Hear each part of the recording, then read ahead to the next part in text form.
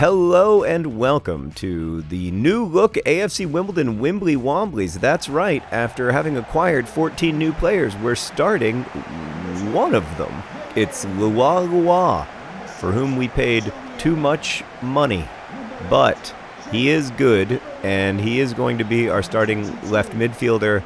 And even though I am frustrated with him, and indeed with the entire process of buying players uh, on FIFA 18, I am excited to welcome him to the club. Also excited to be against a manager who's wearing a baseball cap. If I had known that was an option, believe you me, I'd be doing it. Here he is, Kazenga Lua our new midfielder. We arrived for $3.2 million and a wage that is way too high for his skill level. Today I'm going to be solving a problem from Project for Awesome donor Charlie Spears, who writes, Hi John, my problems are with reading. I read a lot, like two books, two books a week, but I always feel like a liar saying I read two books a week because one of them is always an audiobook and I don't know if that should count. Does it still count as reading if I listen to a book instead of reading it? My other problem is reading critically. I really enjoy reading, but often don't see symbolism or understand metaphors. So this is like one of the uh, one of the horrors I think of, of the internet is that um, everybody's opinions from all of time are like lodged inside of the internet, and if your opinions change or you grow up um, and and you understand that like you know you used to what you used to think was right turned out to be wrong people um, can still dredge up those old opinions and um, say mean things about you and and talk about what an idiot you are.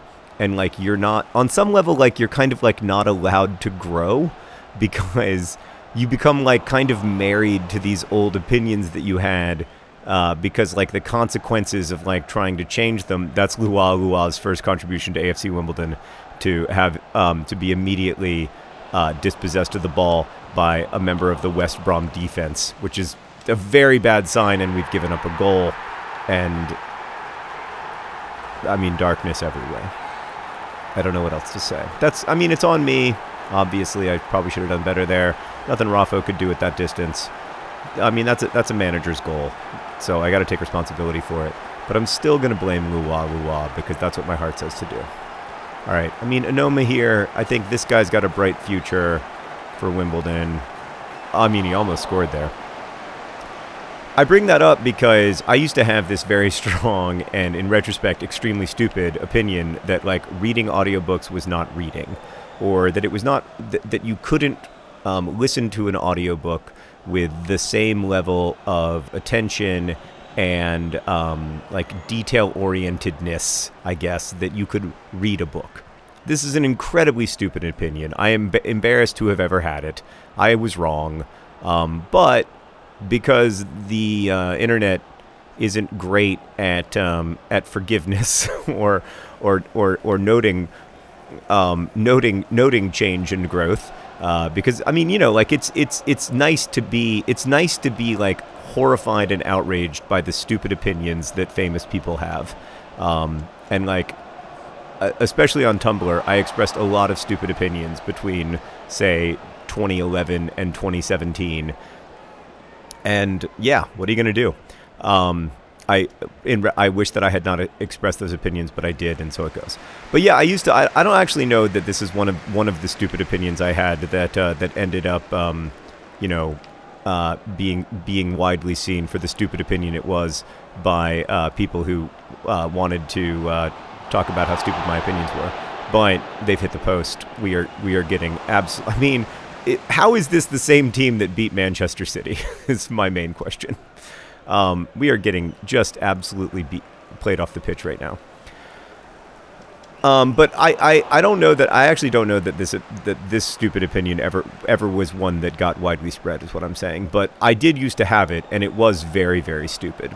Like, I'm not sure. I don't think it was a particularly well considered thought that I had. And I think it was about the way that I read books versus the way that I listened to audiobooks. I.e., it wasn't really about like a, an objective truth or other people's experiences. It was about my experience that I assumed was universal because it was mine. And, you know, that's you know, we, we all have we all have have challenges when it comes to not universalizing our experience. in fact, reading audiobooks or listening to audiobooks um, is it, it, it's its own form of engagement. And like, I am not here to tell other people how to engage with with stories, and like thinking that I know the best way how to engage with stories uh, is was dumb and embarrassing, and I'm I was wrong.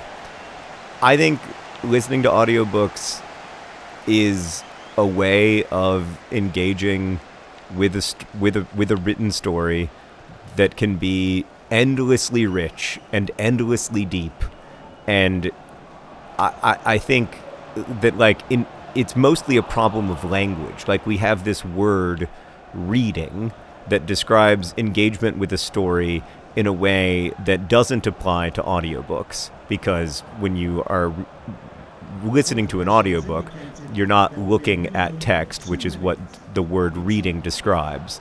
But the experience of reading is, and the experience of reading, I think for most, at least for me, is not exactly like the experience of listening to an audiobook. But that doesn't mean that one is better than the other or one is deeper or richer than the other. And that's what I've come to understand. Um, in the years since I held that opinion.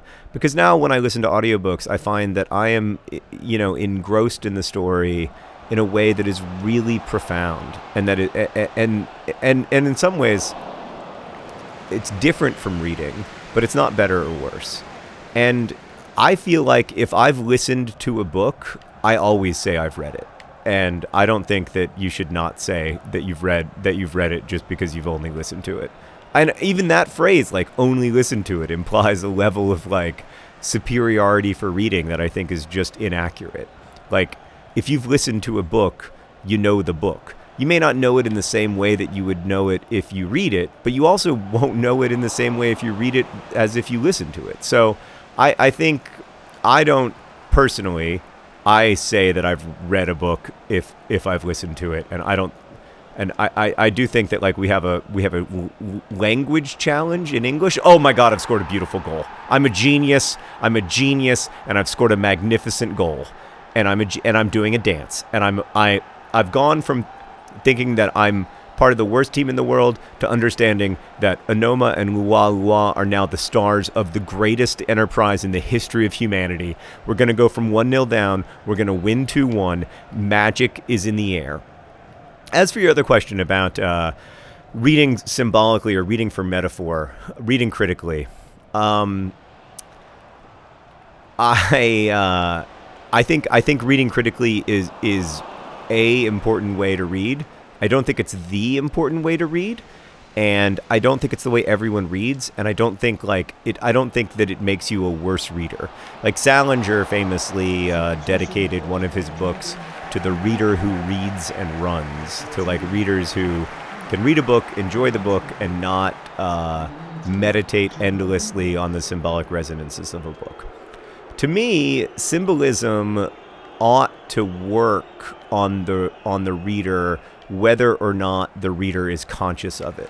So when you say like, oh, I, I, I you know, I don't notice symbols or I'm not aware of, I, you know, I, I can't read critically, I don't see metaphor, like it, it shouldn't it shouldn't matter because what it's about to me like symbolism the whole the whole purpose of it to me is to work you know work like in an almost like magical or mystical way on the reader for the reader to be aware of aware of the resonance without being aware of it for it to have meaning without that meaning being um, explicit or being e- easily easily known and so i am and I think that's one of the reasons why a lot of writers are resistant to talking about um, intent when it comes to metaphor and symbolism. The reason that I tend to do it, well, there are a few reasons, but but one is that I, I think that when you don't acknowledge the reality of, of of metaphor and the fact that it's a consideration for most writers,